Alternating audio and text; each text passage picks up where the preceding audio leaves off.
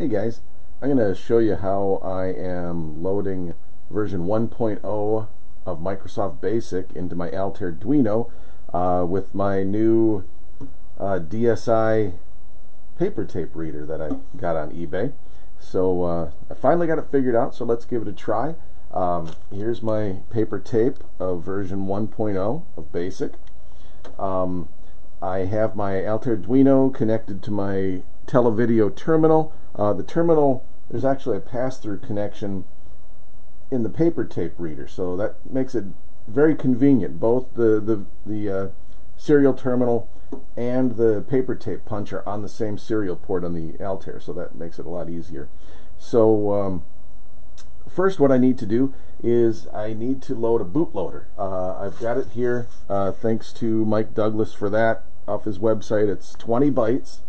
Um, and instead of making you watch me toggle in 20 bytes, I'm just to load uh, load it. I, I saved it on here, so I think I do this up, aux1 down. Okay, well, oh, I need to load file number one, not file number zero. All right, there we go. Got that.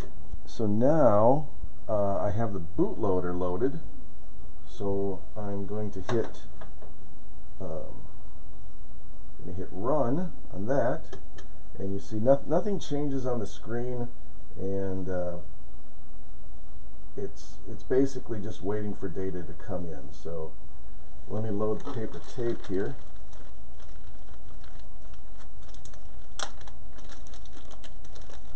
Should have loaded this before the start of the video but I don't know. Maybe you want to see me load a paper tape. So on this, it's got the reader right in front here, a little, little place to drop the roll, line it up with the sprockets, and I believe it is just ready for me to hit read. So there we go. It's uh, reading the tape here. And nothing is showing up on the screen right now. Uh, also, I expected to see some lights flashing on the Altair, but it, it's not. Nothing's flashing there. So we'll just let the tape finish.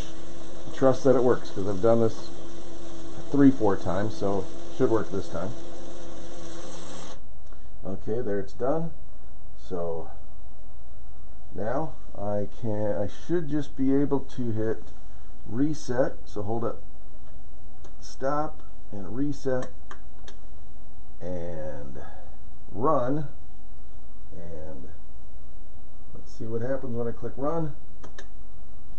There we go. It says mem size. Hit enter. Do I want sine, cosine? Sure, I want that. You know, one, one thing I noticed, it really wants capital letters only. Uh, so there we go. We're at the ready prompt in Microsoft Basic version 1.0. Thanks for watching.